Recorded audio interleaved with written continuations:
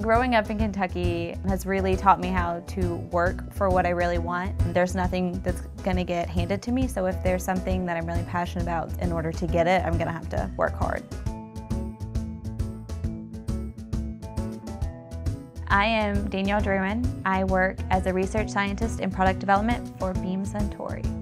I do take pride in, in being born and raised in Kentucky. I think that as much of the bourbon coming from Kentucky, I think it's a great part of just our heritage in general.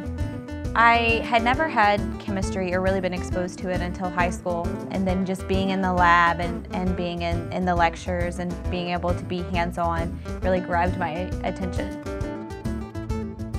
Some of the exciting parts of my job are just creating new things, uh, working cross-functionally with different groups. There's a lot of work that goes into creating a new product or even working on an existing product. Um, and I don't think that you really realize it until you're kind of in the mix.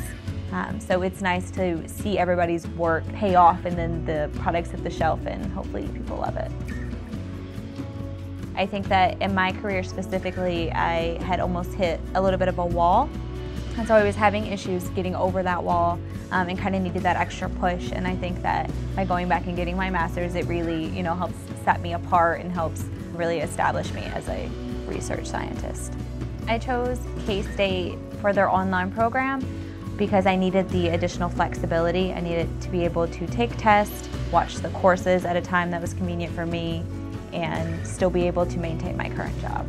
And the great thing about going back for food science while I'm in my current job was that it was very applicable. And so even in some of the courses that I was taking, I was learning information that applied directly to my job today.